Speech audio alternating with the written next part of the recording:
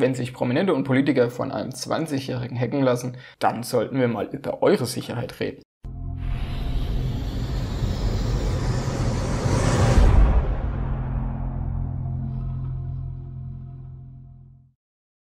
Was kann im Internet so alles schiefgehen? Naja, ihr habt viele, viele Accounts im Internet und dort habt ihr Passwort und einen Login. Und der Login ist meistens die E-Mail-Adresse und wenn der Login nicht die E-Mail-Adresse ist, dann ist zumindest eine E-Mail-Adresse für die Passwortwiederherstellung hinterlegt. Ich habe hier mal als Beispiel GMX genommen, habe hier oben vier Accounts aufgemalt und die ja, Passwortwiederherstellung geht hier angenommen mal zu GMX. Jetzt ist was passiert? Yahoo ist gehackt worden, ist tatsächlich passiert und da waren dann die ganzen Nutzerdaten drin. Und dann sieht man schon, wenn man diesen einen Hack sich anschaut, wo eure zentrale Mail liegt. Und da ich alle anderen Konten wiederherstellen kann über die Mailadresse, ist für mich als Hacker, mal angenommen, wäre jetzt dieser zentrale Einstiegspunkt GMX und die Mailadresse.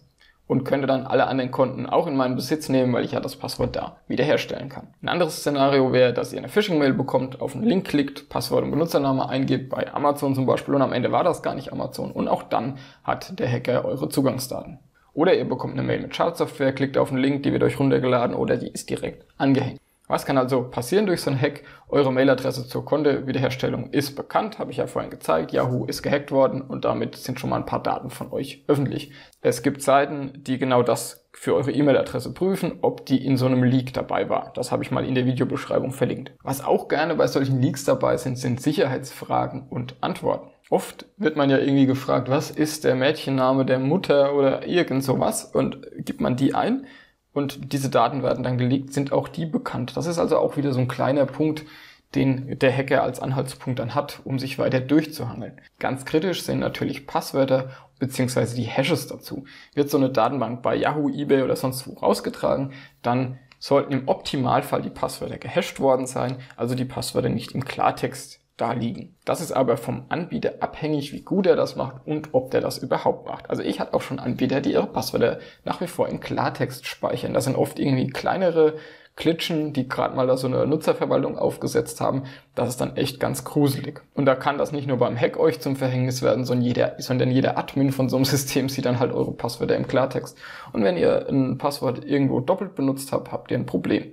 Ich habe ja auch mal diesen Ashley Madison Hack äh, verlinkt, der hat beim Hashen eigentlich alles richtig gemacht. Er hat Bcrypt benutzt, das ist empfohlen, aber ist ihm trotzdem kleine Fehler unterlaufen und so konnten ein Drittel der ganzen Count-Daten gecrackt werden aus diesem Leak. Was sind also persönliche Schutzmaßnahmen, die man treffen kann? Überall andere Passwörter verwenden. Ganz, ganz wichtig. Lasst euch die Passwörter generieren.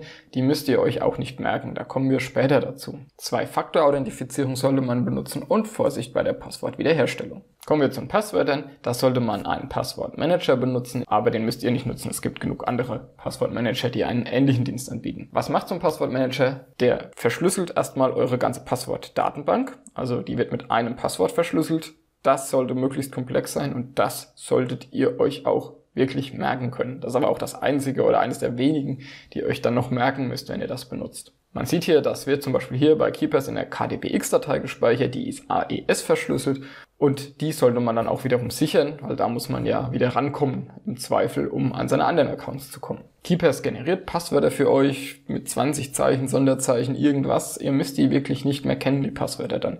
Und Keepers automatisiert auch das Einloggen. Also ihr müsst dann auch nicht immer Keepers aufmachen und das rauskopieren oder so oder lesen und dann irgendwo reinschreiben, sondern das kann man mit Autotype bei Keepers automatisieren. Aber auch andere Passwortmanager haben da Automatisierungsmöglichkeiten. Also ist jetzt nicht nur Keepers, das das hat. Vielleicht solltet ihr euch aber auch Gedanken machen, was für ein Passwortmanager ihr benutzt und vielleicht solltet ihr keinen benutzen, der eure Passwörter zentral in einer Cloud abspeichert und das gleiche Passwort zum Anmelden in der Cloud als auch das gleiche Passwort wiederum dann zum Entschlüsseln der Passwörter benutzt. Das sehe ich recht kritisch. Kommen wir zur Zwei-Faktor-Authentifizierung. Da gibt's Handy-Apps, die generieren euch alle 30 Sekunden einen neuen Code. Das ist immer anbieterabhängig, wie das funktioniert. Man sieht hier so eine Liste in der End-OTP-App, welche Anbieter das unterstützen. Rechts seht ihr mal meinen Login-Bildschirm bei Twitter. Auch da muss ich diesen Code eingeben. Auch den muss man natürlich sichern, ohne den kommt man dann auch im Zweifelsfall nicht mehr in sein Konto rein. Und eine ganz elegante Lösung, habe ich aus Logbuch Netzpolitik geklaut, sind Catch-all-Mails. Wenn man eine eigene Domain hat oder sich eine kauft, wie zum Beispiel beim Mailanbieter ProtonMail,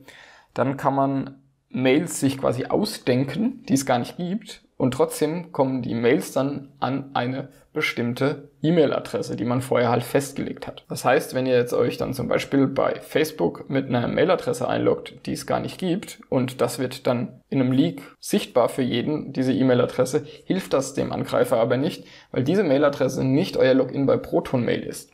Weil ihr euch die ausgedacht habt, aber halt alle Mails, die auf die, an diese Domain at Proton Teams hier im Beispiel geschrieben werden, die kommen halt bei einer Mailadresse an. Auch da, wenn ihr da mehr zuhören wollt, empfehle ich euch Logbuch Netzpolitik. Und zu guter Letzt, in Mails klickt man niemals nicht auf irgendwelche Links. Auch das muss ich mir noch ein bisschen angewöhnen. Das war halt immer sehr praktisch, aber das sollte man echt nicht tun. Also wenn man irgendwie eine Mail von Amazon bekommt, die wollen irgendwas von einem, dann sollte man echt auf äh, amazon.de gehen und nicht den Link in der Mail klicken. Habe ich was Wichtiges vergessen? Ihr habt die Kommentare dafür.